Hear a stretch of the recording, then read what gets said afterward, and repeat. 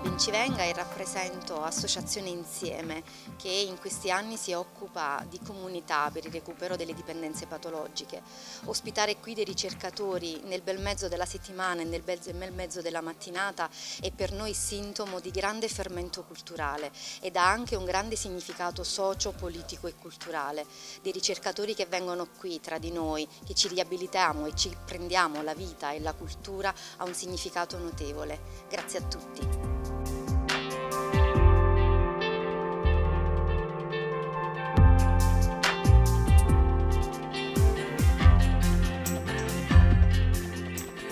Salve, sono Fabio Donnici, sono un ricercatore in archeologia classica del Dipartimento di Scienze Umane dell'Università della Basilicata eh, e sono molto lieto oggi di eh, offrire un mio contributo all'interno delle manifestazioni della Notte della Ricerca eh, presso l'associazione Insieme Onlus eh, di eh, Potenza.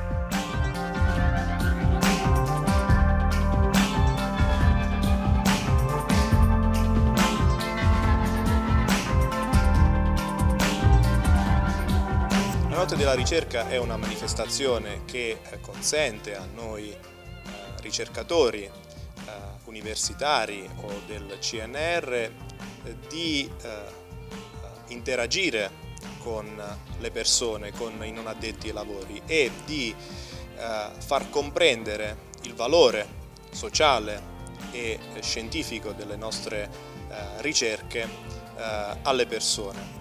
Per cui per me oggi è un grande privilegio essere qui ed è un grande privilegio aver parlato ai ragazzi dell'associazione eh, di una tematica secondo me molto interessante per un archeologo o comunque per chi si occupa di storia antica.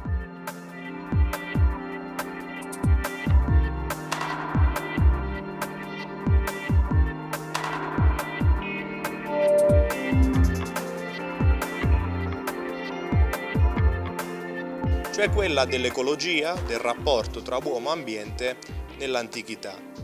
Eh, è una tematica molto interessante perché di stretta attualità ed è una tematica che eh, ci fa scoprire un mondo eh, che aveva già le sue problematiche ambientali a partire da oltre 2000 anni fa e eh, che ci può insegnare a non commettere gli stessi errori che sono stati commessi in passato.